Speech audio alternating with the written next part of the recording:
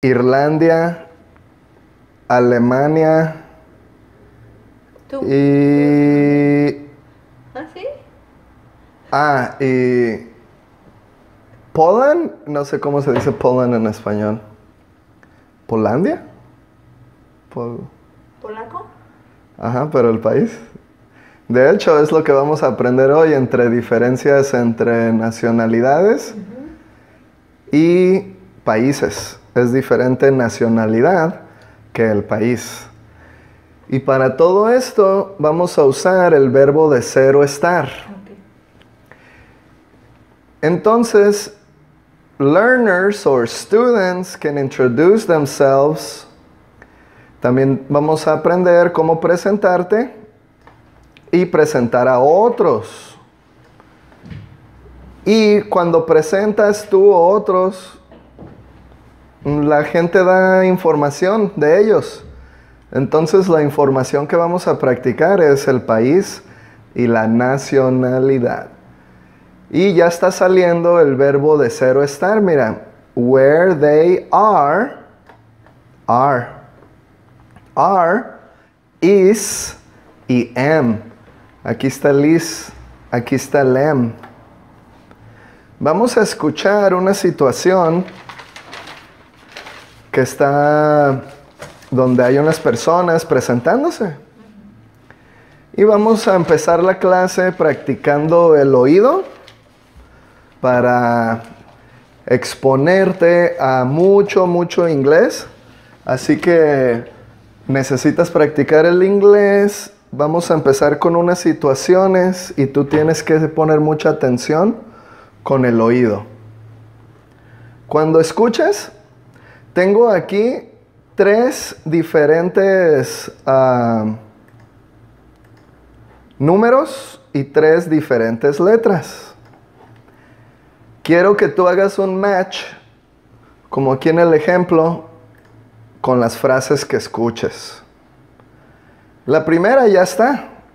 Vas a escuchar. Lena, this is Jorge. He's from Spain.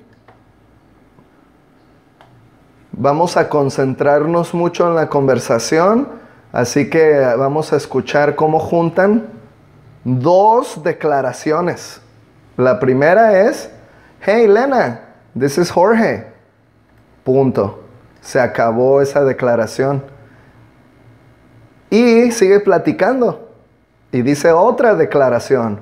He's from Spain. Punto. Se acabó esa declaración. Ahí ya juntaron dos. ¿En dónde ves en estas declaraciones el verbo de ser o estar? I'm Katie. I'm Reese. No, en la que ya le pusimos el cuadro. Uh, is. And his. Ajá, ¿qué es diferente de esas dos?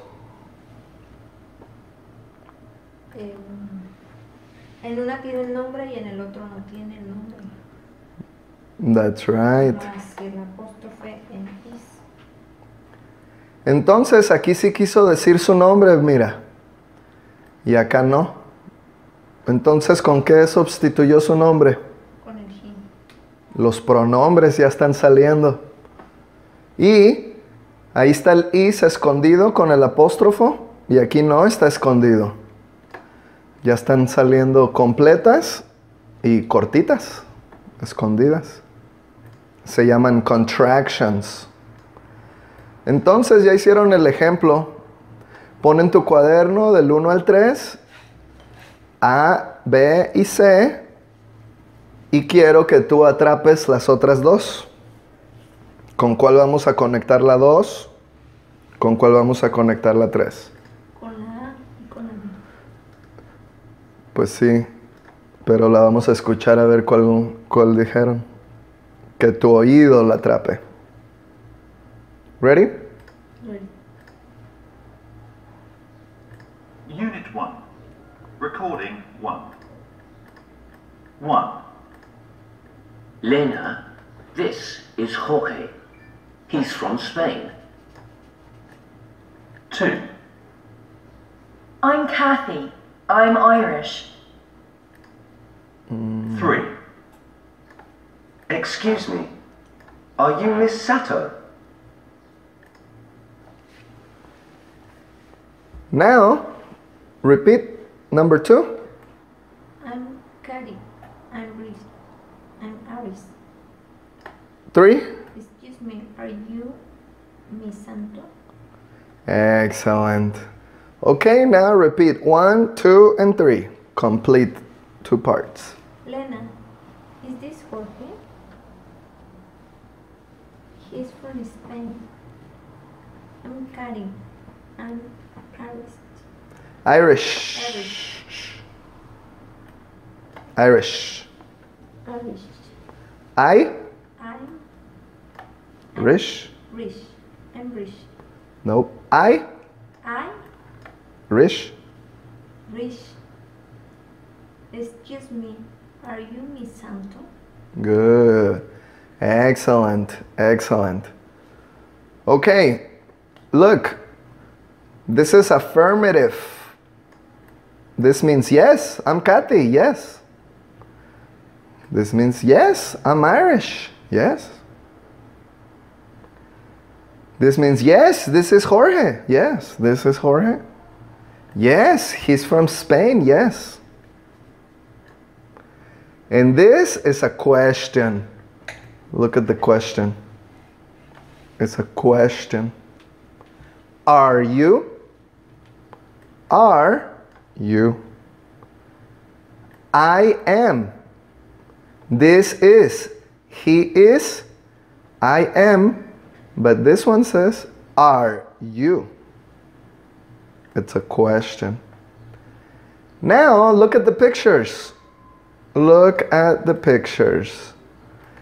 In the picture, picture A,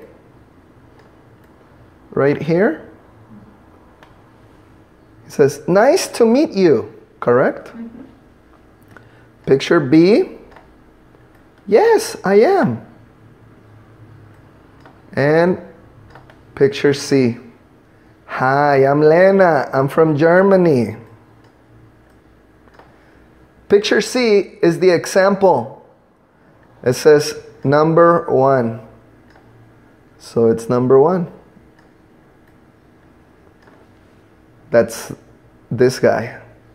Number one. What did he say? Number one? Um, Number one. Lena, he's he's Jorge. He's from Spain, Hi, I'm Lena. I'm from Germany. German.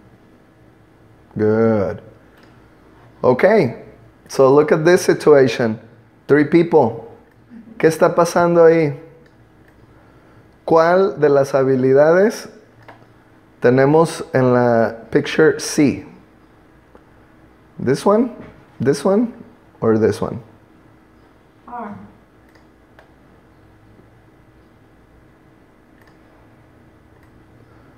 Today, in today's class, mm-hmm. we introduce yourself, introduce others, and say where you're from. What happened here? Introduce myself, introduce other, or say where I'm Say from. where I'm from. Yes, that happened. Where's Jorge from? Spain. Good. And uh, where's Lena from? Germany. Good. And what else happened? Introduce yourself or introduce others? Introduce introduce themselves. Um, how did Lena introduce herself? How You show me.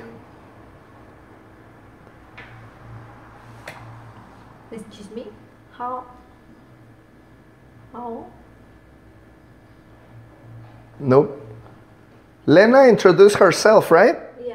Show me. ¿Cómo le hizo? Ella dijo que es de Germany. Good. Enséñame como si tú fueras Lena. preséntate. Hi, my name is Jessica. I'm I'm from Mexico. Good, excellent, excellent. And introduce others. In this picture, introducieron a Jorge. Preséntame a Jorge. Introduce Jorge, please. He's he's Jorge. He's from Spain. Excellent, excellent. Now, picture B. What happened? She said, Yes, I am. Are you Miss Santo? Good, excellent.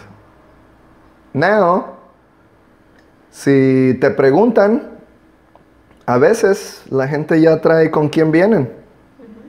No te han conocido, pero ya saben a quién tienen que ir a ver. Meet a Mesato. ¿Cómo me preguntas a mí? Entonces, la misma situación. Ahora vas a ir a conocerme, pero ya venías conmigo. Are you That's right. English teacher? Good. Are you? Repeat. Are you? Are you an English teacher? Yes, I am. Are you Jessica? Yes, I am. Good. Are you Kathy? No, I'm not. Okay, you see? The question, this question is yes or no question. Okay, put the formula in your notebook for the yes or no question. This is the verb be, the subject, and misato. Ok, necesitamos una categoría de gramática para ponerla en la fórmula misato. ¿Qué podemos poner de gramática para ponerle una etiqueta a misato? Ya tengo las otras etiquetas para la fórmula de preguntas. ¿Su nombre? Este es el verbo de be. Este es el subject, el you.